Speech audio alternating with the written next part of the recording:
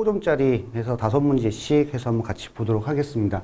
자, 16번 1회 기출이죠. 그래서 1회에서부터 5회까지 기출이 되었는데 이제 업무 방법서가 바뀌면서 변화된 내용들은 그 내용에 맞춰서 다 변경을 해놓은 상황이고요.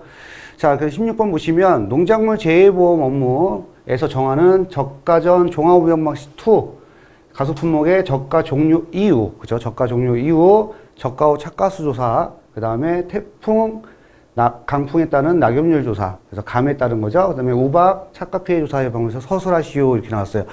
그러니까 여러분들이 실제로 이제 학습을 해보시면 알겠지만, 이제 우리가 학습하면서 중요한 게 서술형 같은 경우가 시간과의 싸움이라는 거죠. 그러니까 내용을 알고 있어야 되고 내용도 알고 있어야 되고 그 내용을 아는 내용을 답안지에다가 그대로 적어서 그죠 기술하는 연습이 상당히 중요합니다. 그렇기 때문에 어 거의 매일같이 시간을 정하셔가지고 어 서술하는 연습을 하시는 게 좋아요. 왜냐하면 지금같이 조사 방법이 세 가지가 제시가 됐다면 그 양이 엄청나게 많거든요. 그러다 보니 본인이 어, 쓰는 연습을 많이 하지 않는다면 이제 힘들어지겠죠. 그래서 주요 키워드를 정확히 기억하시고 거기에 맞추어서 쓰는 연습을 반드시 할 필요가 있습니다. 그래서 저가 후 착가수 조사를 보면 저가 후 착가수 조사는 모든 농지에 대해서 그죠 모든 가수원에 대해서 실시를 합니다. 그래서 가수원 내 품종, 그다음에 재배 방식, 수령별, 그죠? 중요한 건 품종, 재배 방식, 수령별로 나누어서 그죠? 나누어서 실제 결과 주수, 그다음 미보상 주수, 고사 주수, 그다음 수학 불능 주수를 파악을 합니다. 자, 이걸 왜 파악하겠어요? 그죠? 조사 대상 주수를 확인하기 위해서 조사를 파악하잖아요. 그러니까 이때 품종, 재배 방식, 수령별로 실제 결과 주수에서 우리가 지금 조사한 미보상 주수, 고사 주수, 그 다음에 수학 불능 주수를 빼고 조사 대상 주수를 그저 선정을 합니다. 자, 그럼 조사 대상 주수를 구했다면 이 조사 대상 주수를 기준으로 기준으로 표본 주수표에 따라서 표본 주수를 산정을 한다는 거죠. 그래서 표본 주수를 정합니다. 자, 여기까지는 거의 모든 어, 종합 위험 방식 가수에서도 거의 동일하게 적용이 된다는 거예요.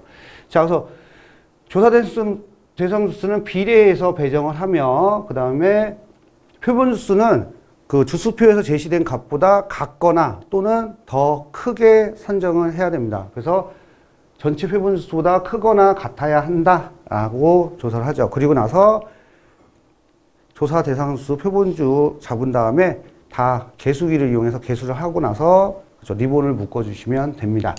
자, 그 다음에 태풍, 강풍에 따른 낙엽률 조사, 낙엽률 조사 조사 대상 수 기준으로 그죠 품목별 표본 주수표 그래서 표본 주수를 선정을 한다는 거죠. 그때 여기서 중요한 건 뭐예요? 리본을 묶고 동서남북, 동서남북 네 곳에 네 곳의 결과지, 결과지에서 무작위를 정하여 그죠 결과지별로 낙엽수와 차겹수를 조사를 합니다. 근데 낙엽수와 차겹수를 조사를 할 때 차겹수는 뭐예요? 낙엽수를 세는 게 아니라 떨어진 자리, 그죠? 낙엽수는 입이 떨어진 자리를 세주는 겁니다. 그래서 중요한 거는, 아, 낙엽수를 세는 건 떨어진 입을 세는 게 아니라 떨어진 자리를 센다. 떨어진 자리를 센다. 그리고 사고 당시 착가수, 이 부분이 중요하죠. 사고 당시 착가수의 낙엽률에 따른 인정 피해를 곱하여 해당 감수 가실수를 산정을 합니다.